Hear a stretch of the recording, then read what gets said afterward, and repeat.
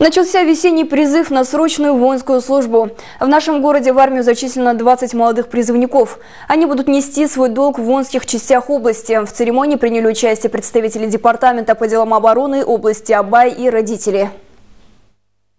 С 1 марта этого года городские и районные призывные комиссии под председательством заместителя Акимов приступили к весенней призывной кампании на срочную воинскую службу. Согласно плану, около 600 призывников по всей стране отправятся на охрану рубежей нашей Родины. Первая группа призывников, а их 20, в сопровождении военного оркестра были направлены в воинское отделение пограничной службы Комитета национальной безопасности в Маканчинском районе.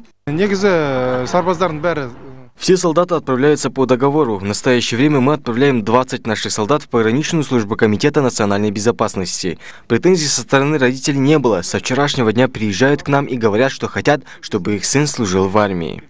По словам Каната Шарипханова, в армию были призваны молодые парни в возрасте от 18 до 23 лет. Весенняя призывная кампания продлится до 30 июня. Каждый призывник прошел медицинское, психологическое и профессиональное обследование. Отан алдында борышымды өз еркіммен Иду на службу подготовленным и с большим желанием. Обращаюсь к гражданам области Абай, призываю их к добровольному выполнению своего долга перед Отечеством. У меня есть представление об армии. Большинство моих братьев военнослужащие, работают на государственной службе. Я хочу пойти по их стопам. Я добровольно вступаю в ряды вооруженных сил. Я обещаю мужественно и с честью выполнить свой долг. Сколько наши предки воевали за эту землю, надо оправдать их труд, защищать свою страну.